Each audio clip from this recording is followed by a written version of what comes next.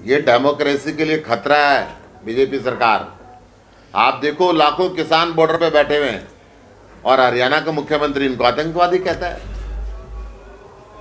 तो ये स्थिति किसी भी लोकतांत्रिक देश के लिए अच्छी बात नहीं होती। कल एक बहुत बड़ा बंद भी हुआ किसानों के मुद्दे पर लेकर किसानों की जो एक आह्वान था उसमें हुआ। कल भारत बंद पूरा सक्सेसफुल रहा है और मैंने भी जगह जगह देखे हैं ऐसी स्थिति के अंदर ये जो बीजेपी और जेजेपी के गठबंधन के प्रति जो नफरत हरियाणा के लोगों के अंदर है वो हर गाँव में स्पष्ट झलक रही है। सिरसा में एक पहले से आंदोलन शुरू हो गया था यहाँ पर एक पक्का मोर्चा भी लगा हुआ है छह अक्टूबर से शुरू हो गया था। उसमें उन्होंने मांग ये रखी दुष्यंत चौटाला और ये रंजीत सिंह जो है बिजली मंत्री वो इस्तीफा दें इसको ले, लेकर वो लगातार आंदोलन कर रहे हैं। आपकी पार्टी का क्या स्टैंड है? इस्तीफे देने चाहिए जैसे अभय सिंह चौटाला ने दिए या कोई और तरीके हैं लड़ाई देखो जब तक मलाई का गठबंधन है और माल खाने को मिल रहा है तो ये मुझे नहीं लगता। जब किसानों पर लाठी चली तो ये राजनीतिक सरकार का हिस्सा थे उप मुख्यमंत्री थे। जब किसानों को आतंकवादी कहा जा रहा था, चाइना से इनका जड़ें जोड़ी जा रही थी, पाकिस्तान से जड़ें जोड़ी जा रही थी, तब दुष्यंत जी नहीं बोले। अब क्या बोलेंगे? सबसे पहले मैं आपको ये बताना चाहूँगा कि जो किसान आंदोलन है, पिछले चार महीने से लोग बॉर्डर के ऊपर बैठे हुए हैं। पहले केंद्र के मंत्री बात करते थे, अब बात करना भी बंद कर दिया है। प्रधानमंत्री जी कहते मैं एक फ़ोन की दूरी पे हूँ, परंतु फ़ोन नंबर बताने के लिए तैयार नहीं है और खुद फ़ोन करते नहीं है। हरियाणा के मुख्यमंत्री, इनको कभी खालिस्तानी कहते हैं, कभी पाकिस्तान के साथ जड़े जोड़ते हैं, कभी चाइना के साथ जड़े जोड़ते हैं, और कहते कहते नहीं है, ऐसा व्यवहार किया उन्होंने। आँसू गैस के गोले छोड़े हैं, लाठीचार्ज किया है वाटर कैनन का इस्तेमाल किया, सड़कों के ऊपर कील और भाले गड़वा दिए बड़ी बड़ी सीमेंट की दीवारें बनवा दी, सड़कें खोद दी, जैसे किसी दुश्मन देश का व्यक्ति दिल्ली की तरफ़ जा रहा हो। हरियाणा के कृषि मंत्री किसानों की शहादत को कहते हैं कि स्वेच्छा से मर रहे हैं। हरियाणा के भाजपा के सांसद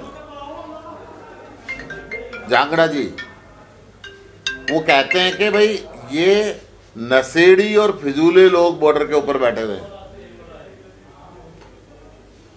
किसानों का उपहास तरीके तरीके से उड़ाते हैं।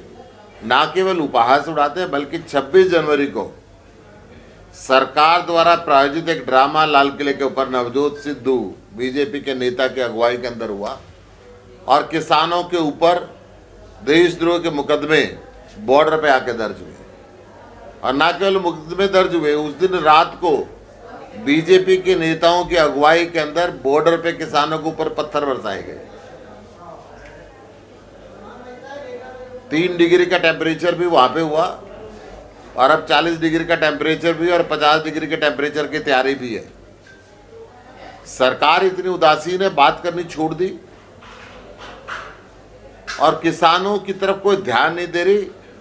बुज़ुर्ग भी बैठे बॉर्डर के ऊपर, महिलाएँ भी बैठे बच्चे भी बैठे हुए मैंने अपनी ज़िंदगी में इससे शांतिपूर्ण, इससे लंबा आंदोलन नहीं देखा। इसके विपरीत अरविंद केजरीवाल जी, किसानों के पक्ष में पहले दिन से खड़े तीनों काले कानूनों का विरोध उन्होंने किया। और जब किसानों को जेल में डालने के लिए अरविंद केजरीवाल जी ने स्टेडियम मांग, से स्टेडियम मांगे गए तो उन्होंने मना किया कि मैं इनकी सेवा करूँगा जब बीजेपी के नेताओं ने बॉर्डर पे बिजली पानी बंद कर दिया, इंटरनेट काट दिया तो अरविंद जी पानी के टैंकर लेके पहुँचे, वाईफाई लगवाया और कहा कि मैं एक सेवादार के रूप में सेवा करूँगा। इन्हीं सब बातों पे विचार करने के लिए कि सरकार को किसानों से इतनी नफरत क्यों है? चाहे वो केंद्र की सरकार हो, चाहे वो हरियाणा की सरकार हो। इस आंदोलन को, इतना शांतिपूर्ण जो आंदोलन चल रहा है, उसको उखाड़ने की सरकार कोशिश क्यों कर रही है? क्यों काले बिनों को वापस नहीं लेती? क्यों किसानों के साथ आतंकवादियों जैसा व्यवहार कर रही है?